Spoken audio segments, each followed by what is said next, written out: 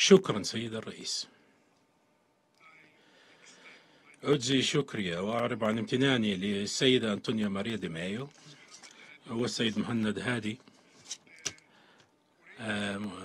على ما قدموا من رواية شجاعة بتفاصيلها للأوضاع الكارثية في غزة إنسانيا. إن كلماتهما أعلمتنا صحيح وأطلعتنا ولم تكتف ذلك حسب بل لقد هزتنا في الصميم. وصدمتنا. فروسيا والصين وبلدي محدثكم الجزائر. ثلاثتها دعت لعقد هذا الاجتماع لإبراز مدى الحاجة الماسة والملحة للتوح للتوحيد ولتنسيق استجابتنا للأزمة الإنسانية تكشف فصولها في غزة. إن اجتماعنا اليوم يرسل بارقة أمل. بارقة الأمل. بارقة الأمل بماذا؟ بأن نضع اختلافاتنا جانبا وأن نتوحد في إنسانيتنا المشتركة التي نتقسمها بيد أن الأمل وحده ليس كافيا فإن شعب غزة بحاجة إلى ما هو أكثر من مجرد تعاطفنا وشفقتنا هم بحاجة إلى إجرائنا وتدخلنا الحاسم. ففي غزة يصرخ الأطفال ويبكوا جوعا وتغص المستشفيات بالجرحى والمحتضرين والأسر. تعاني الأمرين في ركام وأنقاض ما كان منازلها يوما ما.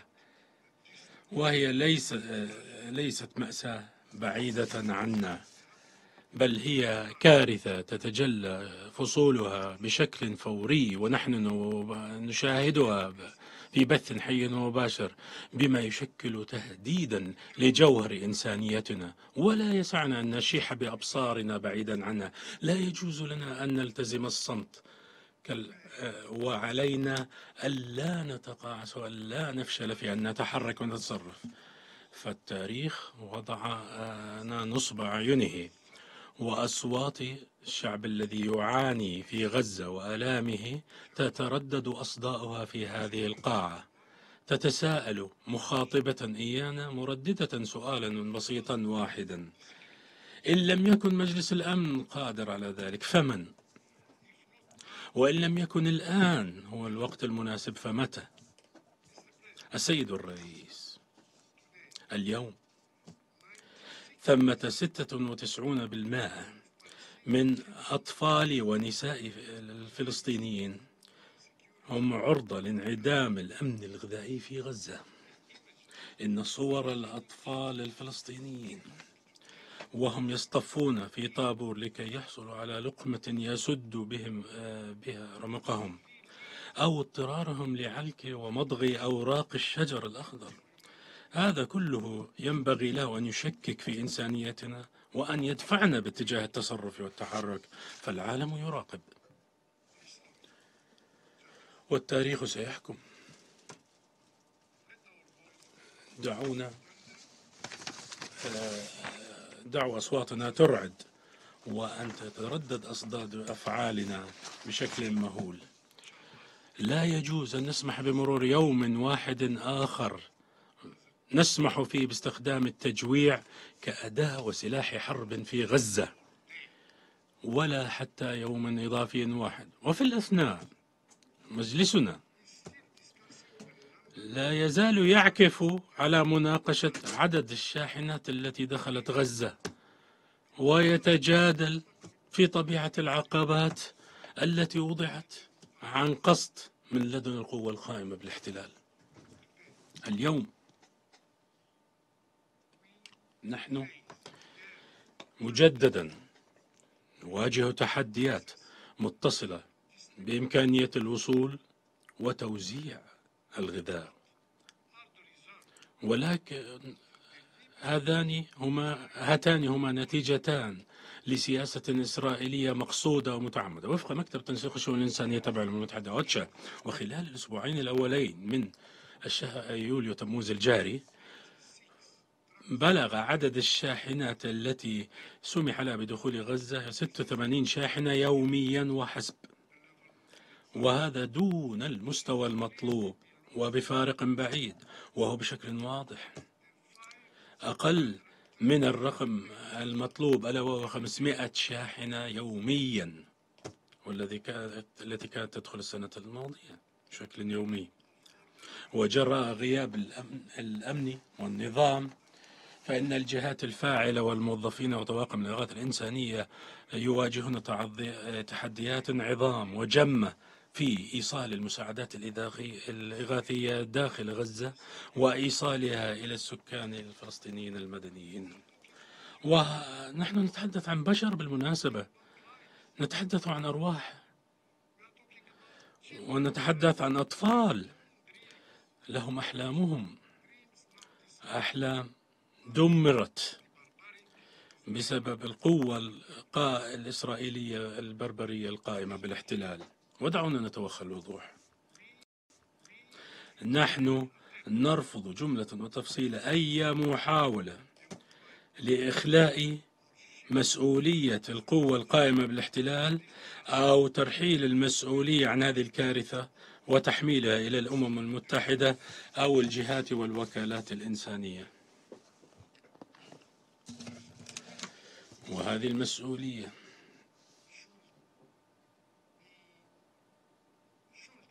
ينبغي لها أن تقع على عاتق القوة القائمة بالاحتلال. وهي القوة القائمة بالاحتلال؟ الآن تستهدف الخوذ الزرقاء. تستهدف طواقم الأنروا. فاستهداف الأنروا وتقييد أياديها وهي الوكالة الإنسانية الوحيدة القادرة. القادرة على توزيع المساعدات الإغاثية هي أيضا أي تقييدها واستهدافها جزء لا يتجزأ من السياسة الإسرائيلية المقصودة وإن أي محاولة لأن تقويض عمل الأنرو والنيل من مصداقيته من شأن أن ينال من مبادئ التعاون والتضامن الدوليين. وينبغي معارضة هذه المحاولات من لدن مجلس الأمن. علاوة على ذلك فإن التقرير, التقرير الصادر عن منظمة الصحة العالمية آه، المؤرخ السادس عشر من يوليو تموز الجاري أي الأسبوع الماضي فقط. لهو تقرير يبعث على عميق القلق. هناك عاود ظهور شلل الأطفال بل فيروس شلل الأطفال في المياه العادمة والمجاري في غزة. وها هو تهديد صامت آخر يتربص بهم إيذانا بانفجاره وانتشاره. وهذا الفيروس المميت الآن يتربص بشعب تم ترك يجثو على ركبتيه جراء المعاناة. وإن النظام الصحي الذي دمر دمر من من؟ من القوات الإسرائيلية. ففي هنا تحت الركام وأنقاض المستشفيات والعيادات تلوح في الأفق هذه هذا الوباء من جديد. هذه ليست مجرد أزمة وحسب بل هي كارثة مطلقة. لا يسعنا تجاهل التحذيرات الصادرة عن منظمة الصحة العالمية حيال احتمال انتشار الأوبئة والأمراض بين النازحين. والاكتظاظ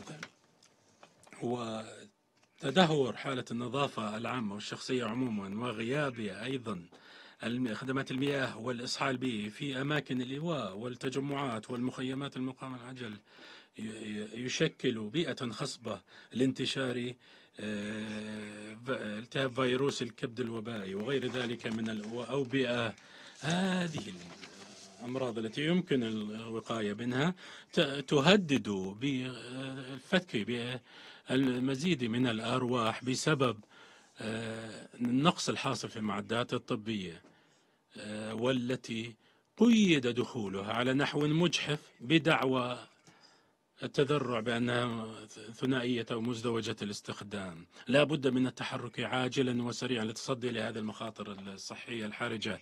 وأن التكتيكات والأساليب الإسرائيلية الوحشية آه، هي فعلا لا يمكن وصفها إلا بمصطلح عقاب جماعي وهي جريمة حرب شنيعة. وبصفتها القوة القائمة بالاحتلال تتحمل إسرائيل كامل المسؤولية على المعاناة المهولة والأعداد التي لا تحصى من أرواح الأبرياء الفلسطينيين التي أزهقت. لا بد أن ينتهي عصر الرعب هذا. لا يسع العالم أن يقف صامتا أكثر في وجه مثل هذه القسوة التي تفوق الوصف. السيد الرئيس. وللتصدي للأوضاع الإنسانية المزرية تدعو الجزائر إلى القيام بالإجراءات التالية. أولا فتح فتح المعابر الحدودية كافة بما فيها معبر رفح. وينبغي أن تشرف السلطات المصرية والسلطة الفلسطينية على تشغيل المعبر حصريا. ثانيا تنفيذ مقتضيات ومفاعيل القرار 2720 وذلك من خلال نشر مراقبين في رفح. بما يكفل سلاسة دخول المساعدات الإنسانية والإغاثية. ثالثا تمكين الأنروا وغيرها من الوكالات والجهات الإنسانية الفاعلة من توزيع المساعدات الإغاثية والإنسانية في جميع مناطق قطاع غزة بما في ذلك في شمال القطاع. رابعا إطلاق حملة واسعة للتطعيم من طرف منظمة الصحة العالمية للحلول انتشار آه، شلل الأطفال بين أطفال القطاع. فالأطفال أرواح بريئة. ينبغي حمايتها من طرف الجميع. خامسا بالنسبة لوقف إطلاق النار نعم فمن دون وقف إطلاق النار فكل التدابير الواردة آنفا هي غير ذات جدوى وبلا طائل. وقف إطلاق النار في غزة وحده كفيل بالتحرك الإنساني الفاعل والكفء الزملاء إن الجراح والآلام التي ألمت بغزة اليوم سوف تترك ندوب ندوبا غائرة في آه، جسم العالم لأجيال قادمة. أطفالنا وهم قادة المستقبل ومفكرو المستقبل ومواطنو عالم المستقبل. والجميع يراقبنا مترقبا فاتحا عينيه فهم يراقبون كيف نستجيب. للأزمات التي يعاني منها الأطفال الفلسطينيين وكيف نتعامل مع دموع الأمهات. آه، وكذلك القلق والخوف آه، لدى شعب دفع إلى حافة الهاوية ونهاية الوجود. فإن إجراءاتنا لابد أن تصوغ فهمهم للعدالة وتعاطفنا وتقديرنا لقيمة الحياة البشرية. وفي هذه اللحظة الفارقة فإن الفتوى أو الرأي التشريعي الصادر عن محكمة العدل الدولية هو المنارة منارة الأمل وخطوة على طريق توصل لحل مستدام للأزمة في الشرق الأوسط. وإن الحكم والقرار الصادر عن المحكمة وهو واضح الذي أعلن أن الاحتلال الإسرائيلي غير قانوني وغير شرعي وأن النشاط الاستيطاني يشكل انتهاكا لأحكام القانون الدولي. أولئك من يؤمنون بجدوى النظام الدولي ينبغي لهم أن يعملوا على تنفيذ مقتضيات القرار الصادر. عن المحكمة. ليس القرار مجرد وثيقة قانونية صماء بل هو بوصلة أخلاقية توجهنا إلى نحو عالم يتكفل فيه القانون الدولي بحماية الفئات الأضعف والأكثر هشاشة ويحاسب ذوي القوة ويسائلهم لكن رجاء نطلب الفهم بشكل واضح دون مواربة. إذا تقاعسنا وإذا أخفقنا في الإصغاء لهذا النداء إذا سمحنا للمعاناة في غزة أن تستمر. فنحن بالتالي نزرع بذور الشعور بالمرارة واليأس التي ستحتمل ثمارا مروعة في الغد. وأن المسار والطريق الوحيد لإنهاء هذه المأساة, المأساة المروعة. واضح وضوح الشمس. كما قال فخامة الرئيس عبد المجيد تبون وأعلن بكل جرأة يتعين علينا أن نؤمن حق الشعب الفلسطيني غير قابل للتصرف في الحصول على دولتهم المستقلة وعاصمتها القدس وعاصمتها القدس الشريف. ذلك هو واجبنا الأخلاقي ومسؤولية ودين تاريخي على البشرية أن تسدده ومن باب السرعة والأولوية. إن ثمن إخفاقنا وفشلنا لن يسدد ثمنه جيوسياسيا وحسب بل بأرواح بشرية وأحلام محطمة. Thank you